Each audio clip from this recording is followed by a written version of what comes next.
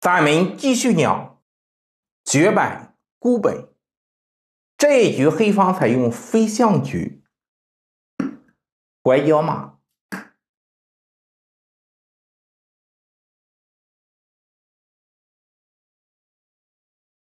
黑方进卒制马也是必然。平炮是公园大爷的重型武器。他有禁卒血马的凶招，还打通了居路，但是红方不大力，黑方一看乖乖，然后万万没想到红方竟然是弃马攻杀，那黑方一看得子还有错不成，上马登炮。在平车捉马，这个马不敢动，炮比窦娥还远，所以只能保。问题来了，用哪一个车保？咱们一个个看。如果车一进一，弱点立刻暴露出来，因为黑方不敢杀兵，这个中炮发过来。进士就丢马，进马就丢炮，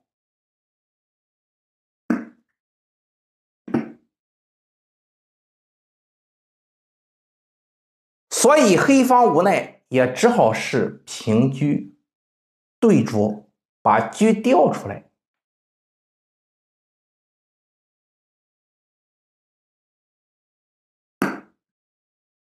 这样交换以后。车砍着炮，那炮肯定要走啊，然后啃象。下面红方怎么走？回马进枪，带着象打着车。黑方不想丢车啊，不想丢车，只能走象。因为老将吊住了炮，你打不起来，对不对？但是老将成了窦娥二点零升级版，绝杀无解。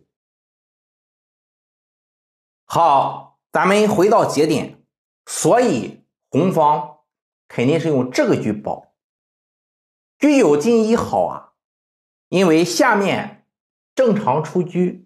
还有先手之力，对不对？想得美！红方有反制手段，怎么治？进炮打车，黑方一合计，可能都笑了。正好穿宫而过，你杀我的炮，我杀你的炮，交换而已，而且摆脱了牵制。但是红方上马。这是几个意思？准备打卒带响，一补士把这个车给搂了，所以黑方箭在弦上，不得不发。红方是先中炮一响，黄金万两，肯定要被补士。交换以后，黑方选择进卒拱马。然后高车捉炮，因为退炮生根的路被马给挡死了。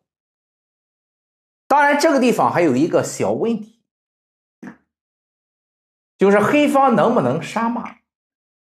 如果杀马，就是如果红方进车，这是铁门栓吊杀，黑方只能平将，残局破势。必有奇效，这个就无解了。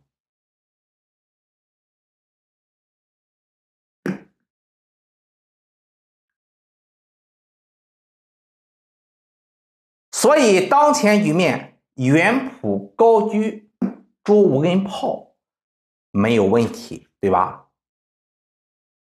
中炮是万恶之源，一切都是那么的平静，那么的自然。但是，天不怕地不怕，就怕但是。民间手抄本号称野路子大全，风平浪静必有杀招。怎么杀？弃车攻杀。黑方无奈，只能含泪杀车。